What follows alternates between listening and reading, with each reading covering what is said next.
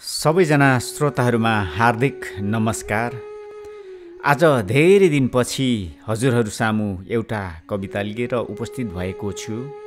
सुनेर हजुरहरूको प्रतिक्रियाको अपेक्षा पनि राखेको छु।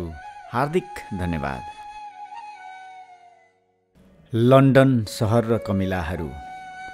सल्याङ बल्याङ ठेलाम ठेल कमिलाका हुलहरू एउटा ठुलो दुलोभित्र पस्छन् अटी नअटी भीमकाय डब्बाहरूबाट वारवार्ती कमिलाहरूको लावा लस्कर व्यस्त गोरेटाहरूमा छरपष्ट हुँदै निकै हतार गरी दगुरिरहेका हजारौँका सङ्ख्यामा रहर लाग्दो गरी सल बोलाउँदै आफ्नो गन्तव्यतर्फ एकहोरिएकाले बोल्न खान र पिउन बेफुर्सद सहर एक अर्कामा कसैको वास्ता नरहेको एक व्यस्त र घनघोर सहर।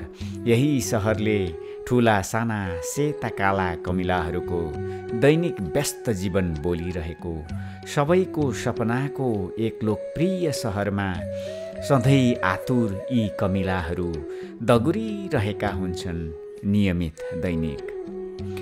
एका बिहानै एउटा क्याफिन चापेर दगुरेका ती कमिलाहरू तछाड मछाड गरी बलियाहरूको मिचाइमा परेर साना तिना भुराहरू कतै पिसिने डरसहित आफ्नो बगालबाट अलग्गिने त्रास हिँड्ने दुलाहरू नै बन्द हुन सक्ने आशंका ती कमिलाका बाटाहरूमा दगुर्ने डब्बाहरू बाटो बाहिर खस्ने अत्यास लाग्दा सम्भावनाहरू बोकेर जमिनभित्रका कमिलाका सुरुङहरूमा स्याउ स्याउती कुहिएको सिनोमा औँसा परे झैँ हजारौँ लाखौँ कमिलाका ताँतीहरू डब्बाका ढोकाहरूमा खाँदा खाँद एक पाइला समेत राख्न धौ धौ निस्सासिएर उकुस मुकुस फस्याङ फस्याङ हुँदै म हराइरहेको हुन्छु उही कमिलाहरूको हुलभित्र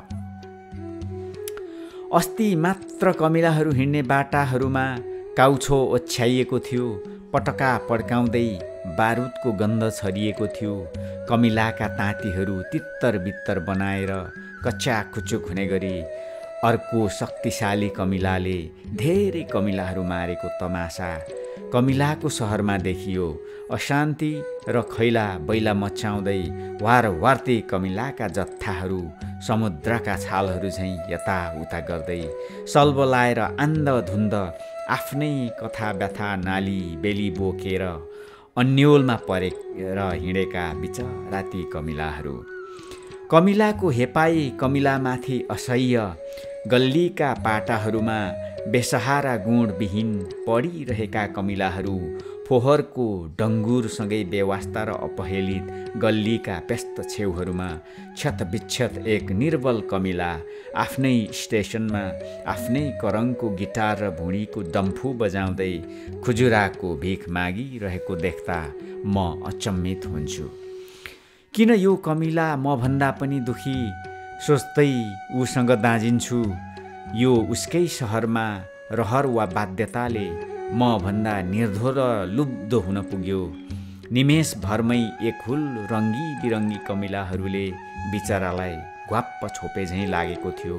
म आफै सपनाको संसार बाहिर पुगेको कल्पनाको सहरबाट बाहिरिएको अनि ती बथानहरूबाट एक्लिएको भिडहरूको बिचमा नितान्त एक्लो भएको म उसैलाई हेरिरहन्छु। ऊ पनि म जस्तै रहेछ। यो ठुलो सहरको एक्लो बेसहारा निर्बल निर्लज्जा निर्दोष लोभरहित स्वतन्त्र चिन्तारहित एउटा कमजोर कमिला।